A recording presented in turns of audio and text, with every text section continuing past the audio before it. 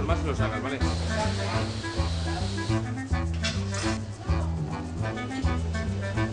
Que hacerle 160.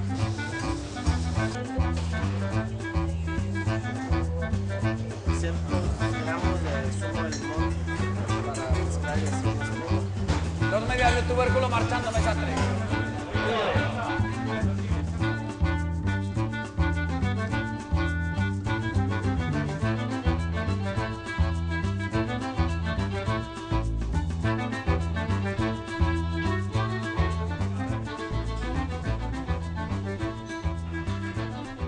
Martín Berasategui es un hombre que lo cuenta todo, un cocinero que vive rodeado de números.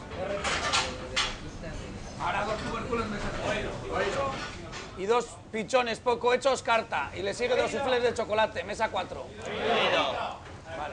Desde pequeño su destreza y su memoria han funcionado bajo el orden de las cifras. Todo lo registra y lo recuerda a través de ellas. Por eso su cocina sigue un ritmo muy calculado. En los fogones, la matemática le ayuda a Martín Berasategui a producir recetas redondas, combinaciones perfectas, proporciones medidas. Y como los grandes teoremas, sus mejores platos nacen también de un eureka. Decir que la cocina de Martín Berasategui es una cocina complicada no es una crítica, sino una loa. Cocinero amante de los retos, Berasategui no concibe ninguna receta que albergue menos de cinco riesgos de fracasar durante su elaboración. Cocina siempre al filo y es capaz de presentar de forma sencilla un plato que tiene por detrás 23 ingredientes diferentes, tres cocciones distintas, cuatro maceraciones, siete horas de preparación y cuatro empleados para llevarlo a cabo.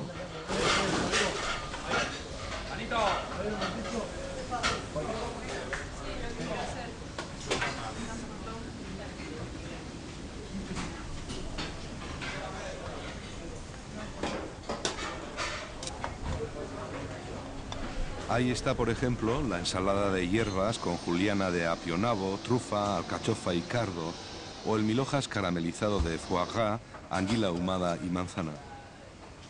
Su pulpo cocido con jugo de buey de mar es un plato para manos maestras, o la misma sopa de almendras, todo un encaje de bolillos.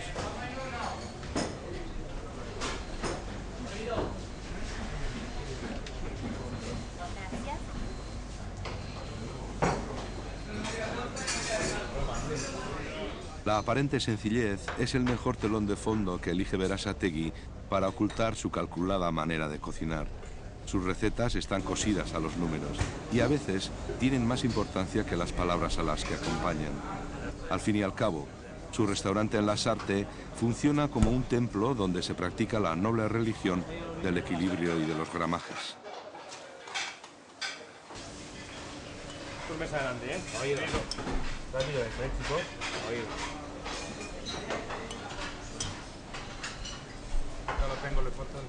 de improvisación tiene que haber lo mínimo, porque nosotros detrás de cada pequeño detalle de cada plato hay un estudio y hay un esfuerzo terrible y hay muchos números que, que si cambias un gramo se te cae la receta a ese nivel. Entonces para, nosotros, para mí los números son parte importante de, de ese rigor que tiene que, que tiene que llevar Martín para estar al nivel que está.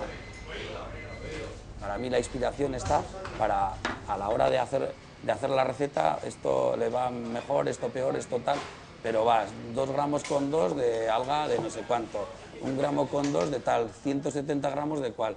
Esa, esa es la disciplina detrás de la inspiración.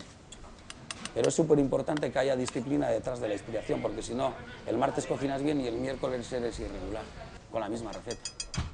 Un número importante para mí es, es 42.